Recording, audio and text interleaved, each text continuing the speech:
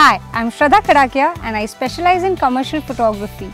I'm even the founder of Just Click image making company. I picked up my first camera at the age of 16 and photography is not just a passion anymore but a full-time profession. On Shoot It Right, we'll be running through every aspect of photography which will help all you budding photographers to shed their amateur tag and move on to the next level.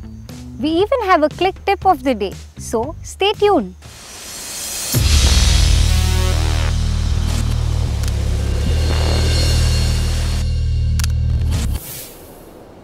We all keep spending our time learning about photography and camera.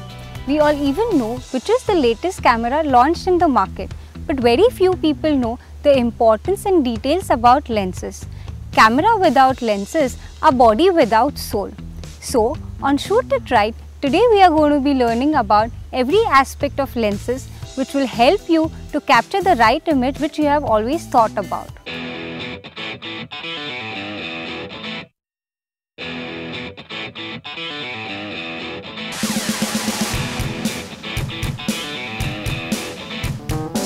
Lenses are classified into three basic categories standard, wide, and telephoto.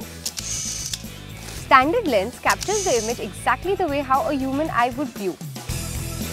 It's known as normal lens and the focal length is approximately 50 to 55 degrees. Wide angle lens is usually used for covering wider area, ideally used for landscapes. Any lens which has focal length less than a standard lens is known as wide angle lens. Telephoto lenses are those lenses which has focal length higher than the standard lens. These lenses are ideally used for capturing wildlife.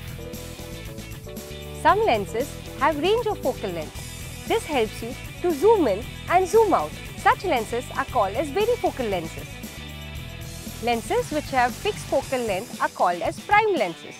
These lenses are better than varifocal lenses as the picture quality is better. It's because there are less amount of glasses inside. Minimum focus distance is nothing but the shortest distance between the camera and the subject. Some lenses are available with a minimum focus distance of 1.2 feet. These lenses are called as macro lenses. Macro lenses are usually used to capture close-up of a flower or an insect. The minimum and maximum aperture depends on the lens what you are using. The lens which has f numbers which are below f3.2 are called as fast lens. These lens helps you to capture high shutter speed images in low light conditions. Some lenses have an option of autofocus mode on them. Another great feature what Canon has is image stabilizer and what Nikon has is vibration reduction.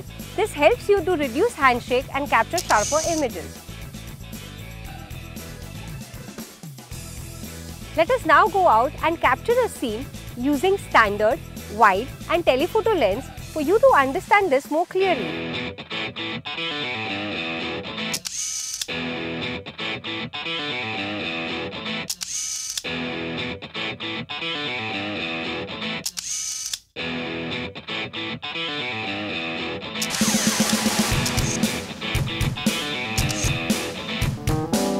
So quick recap.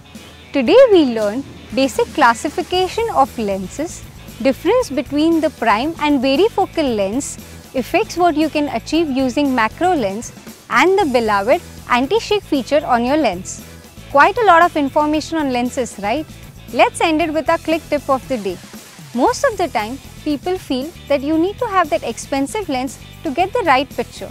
Well, that's not true.